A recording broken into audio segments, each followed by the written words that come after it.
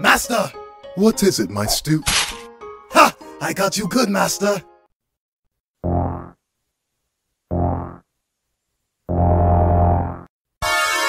Cheats!